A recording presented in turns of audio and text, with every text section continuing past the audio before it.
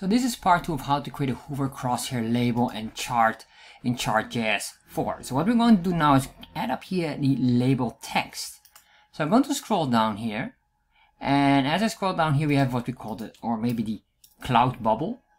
So to make this, what I need to do is, of course, create a new shape here. So I'm going to say here, uh, begin path. And then what I want to do here, or probably what you can do here above is ctx.restore to undo all what we did above. So we have at least that one, but then here we're going to start to create a new shape.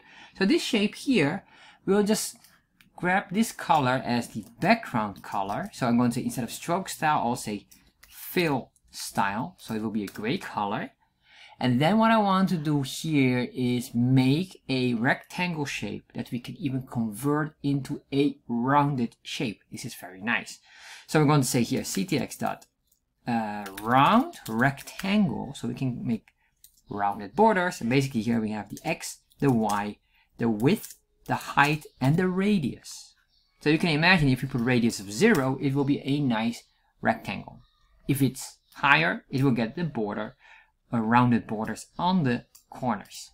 So where do we need to position our x? Well, basically we need to go here. This is the right side.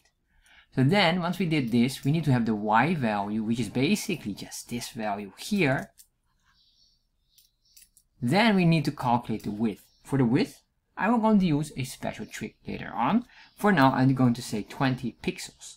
For the height, we can do here 20 pixels as well. If I save this, refresh, and of course nothing works. Why? I need to say ctx.fill to draw the, the rounded rectangle. Save, refresh. There we are.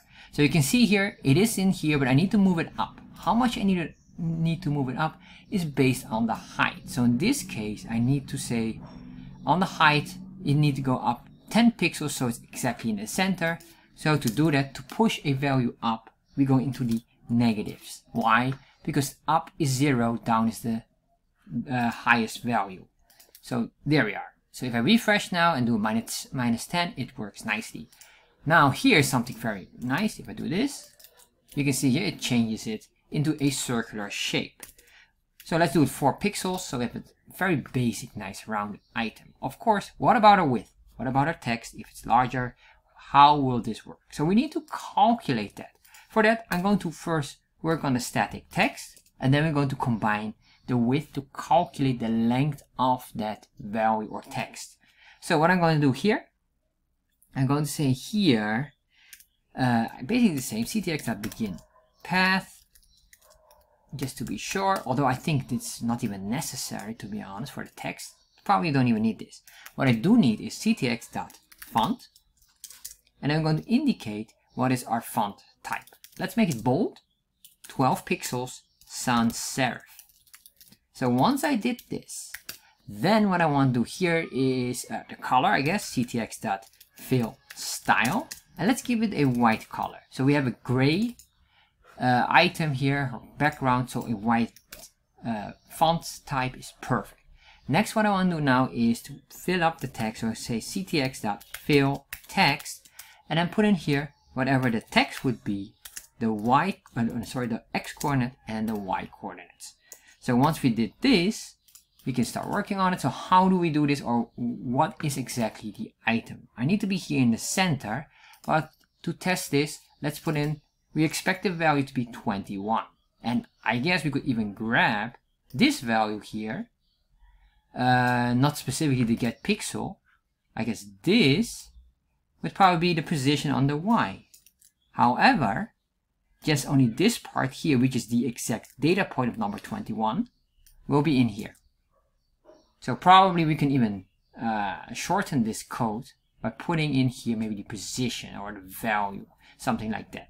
I'll leave it for now, but if I refresh, we should see something, but I don't see anything, and the reason why is the X has not been assigned. So where do we need to go? We need to go to the right side, but probably we need to do some adjustments. So far this looks alright, but not really. And to be honest, when I look at this now, I realize that maybe we should start, uh, we should put this on top of the data set. You can see this circle here is somehow blocking it. So that would mean instead of before, having an after would maybe make more sense. There you are. It's slightly more readable. I'll like that more, so I'll leave it like that. What I want to do is I want to push this to the right side.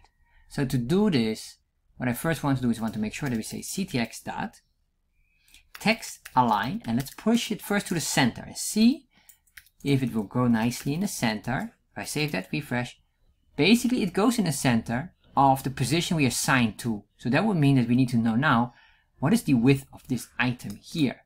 Well, since we know that we assigned here the width of 20, we could basically say here half of that width would be uh, 10. So what we can do here, on the right side, plus 10 in width, save, there we are. Of course, this is not what I want to do.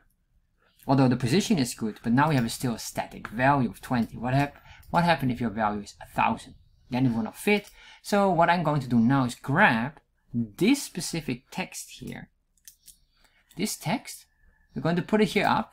I'm going to say here constant text width. We're going to calculate the text width and the canvas has a built-in functionality for this. So that's really wonderful. So all we're going to say here is ctx measure text, put in the text here, and then we say here, I want to measure the width in pixels. By doing this, I can grab this here, and then we say here, this is the width, because this one is the height.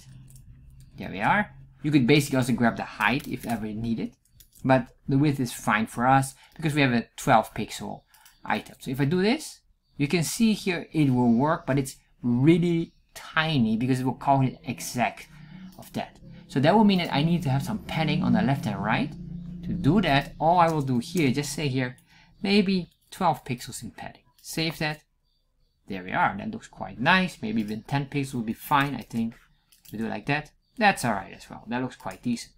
So this would mean whatever our text width is, we need to recalculate that because we did here the the y. Uh, where is that? This is the uh, right side here. Um, uh, sorry, no, I need to make sure we go in the text. So I'm going to scroll down here. On the right, we set here plus 10, but what I will do here now is instead of plus 10, I'll say plus the text width divided by 2. Basically, with division, it will give already priority, but I will just emphasize the priority here. So now we have that emphasized nicely. So if I save this, refresh, you can see here now it is nicely in the center. And that looks absolutely phenomenal. So this is the first part, of course. Next, we're going to start working on the hover effect. So let's start to work on that one in the next video.